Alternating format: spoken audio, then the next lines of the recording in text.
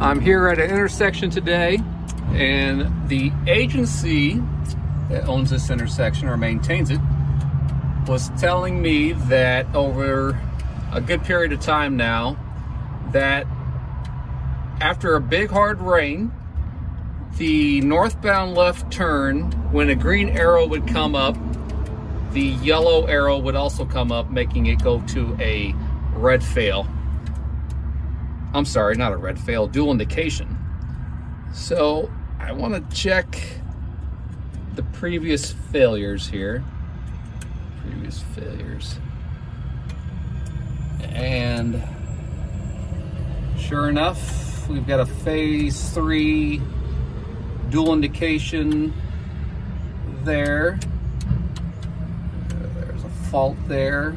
There's another dual indication for phase three, which is our northbound left turn. There's another one and another one. So, okay, so we've got a lot of them here. And that is our northbound left turn. Those, that one over there on the side mount and that one over there.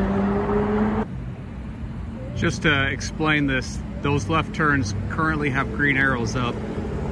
What was happening is when the green arrow would come up, the yellow arrow would also illuminate and that would cause that conflict monitor to put the signal into red flash and to log in with the uh, dual indication for that phase, that direction.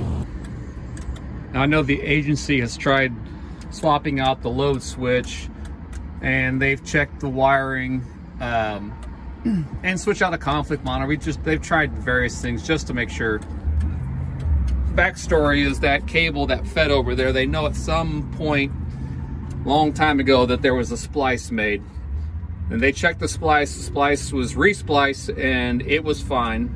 But there's a potential that, I don't know, somewhere along the, the way, this this uh, cable could have been bad. What I had them do, we, we lucked out. So I had the agency check and we had this bundle of wires here, this one right here, we had one spare wire in that whole bundle that fed over to that one. It ended up being the far side mount inner uh, three section head. We had one spare wire out of this bundle that was unused. We took that orange wire that was going over our phase three yellow and we replaced it with this blue wire that we had a spare of. And then over on that far left turn, three section head, the agency went up and terminated the blue wire for that yellow indication over there.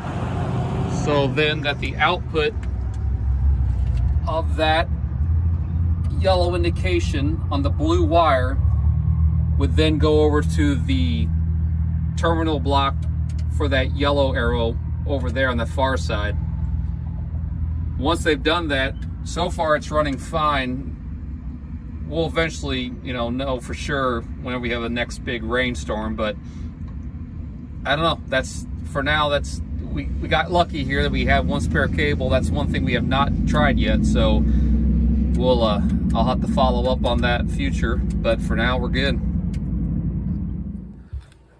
So we had a few more rainstorms. So far, we're still golden. So I hope that was a good takeaway there for you.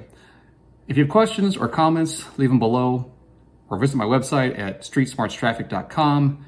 And I'm here to serve you, the traffic signal maintainer. We'll see you next time.